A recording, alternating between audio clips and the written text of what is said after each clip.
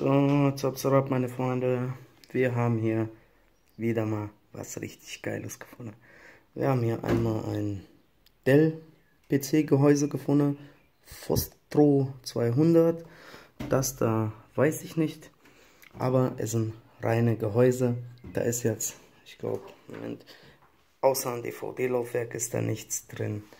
Das ist komplett leer. Aber ich meine, wer schmeißt sowas auf die Straße? Oder auf den Müll. Echt nicht verständlich. Jetzt schauen wir uns mal, wie die drinnen etwa aussehen.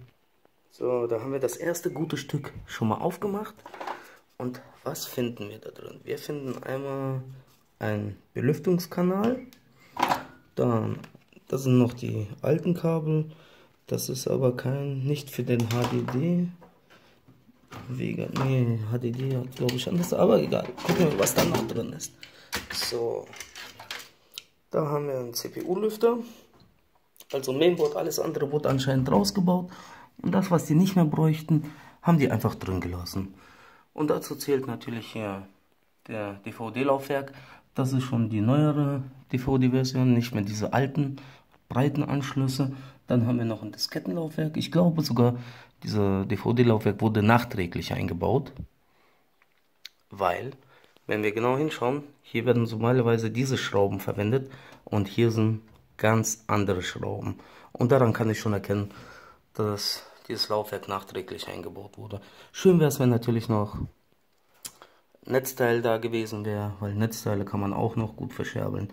Ja, aber so sieht das Ding auf jeden Fall von drinnen aus. Das ist der erste. Jetzt machen wir gleich den zweiten auf und schauen uns mal an, wie der zweite aussieht. So, da sind wir auch schon wieder bei dem zweiten PC-Gehäuse, den ich die beiden auf der Straße neben einer Mülltonne gefunden habe. Ja, da haben wir hier, das Halterung, wahrscheinlich, weiß nicht, wie die jetzt genau dahin kommen. Dann haben wir hier wieder einen Lüfter. Das ist auch so eine Halterung. Und dann haben wir hier wieder ein DVD-Laufwerk. Muss man halt noch testen, ob die Dings funktionieren oder nicht. Und wenn wir hier hinschauen, hier sind so ziemlich die gleichen Schrauben. Also dieses Laufwerk war schon da drinne in diesem PC.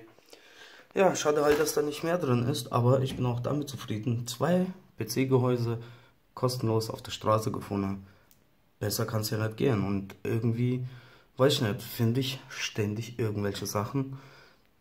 Ich kann mich nicht beschweren. Wer es findet, der darf es behalten. Und ja, das wollte ich mal mit meiner Community hier teilen. Das ist das letzte gute Stück. Das ist eigentlich hier meiner. Ich weiß nicht, ob ihr den mal von innen sehen wollt. Den habe ich auch mal zusammengestellt. Unter 100 Euro. Ja, was heißt unter 100? Ein bisschen mehr haben wir darin gesteckt. Aber einen sehr guten PC für sehr wenig Geld. So, dann bis zum nächsten Mal, Leute.